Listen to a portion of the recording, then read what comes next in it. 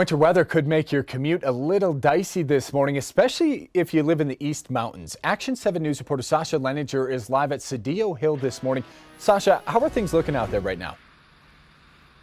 So Todd, we're, we're in Sedillo Hill. You can kind of see there's a nice white coating here on the ground. If you take a look at this parking stopper, there's about a quarter of an inch of snow that is sticking to the ground.